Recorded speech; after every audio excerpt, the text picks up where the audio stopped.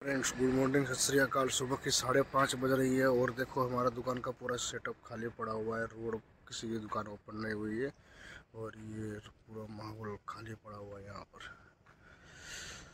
कुछ लोग जो टहलने के लिए निकले हुए ये लारी भी ऊपर है, नारियल भी पड़े हुए बंद है। और सुबह सुबह साढ़े पाँच बजे हमारे नारियल वाले सेट का फ़ोन आया, जितना भी नारियल का मलाई वाला माल है, सब वापस लेके आओ। तो हम ऐसा करेंगे। मलाई वाला पूरा माल अभी जितना थोड़ा बहुत ज़्यादा तो है नहीं, जितना भी है सब बड़ी गाड़ी में भर के लेके जाएँगे। ठंडी बहुत ज़्यादा है। ये अपनी गाड़ी पड़ी हुई है और इसका कवर हम लोग अभी उठाएँगे। इसमें नारियल माल डालेंगे। जितना ऑफ़िस होगा उतना डाल देंगे। नारियल की दाढ़ी तो मैंने खोल दी है।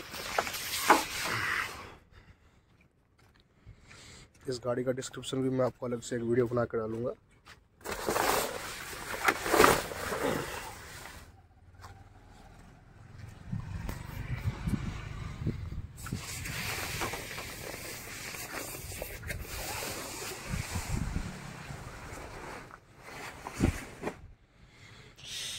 तो अभी ठीक है पीछे रख के मिलते हैं वापस।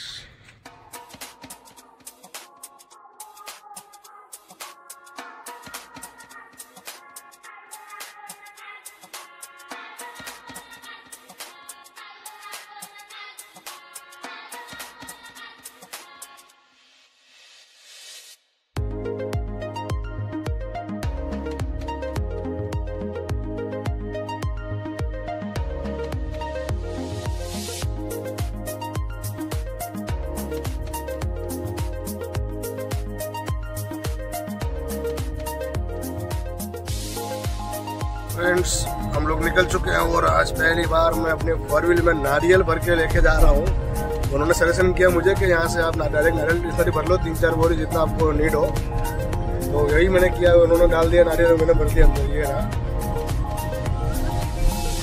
माल पूरा भरा हुआ है पीछे।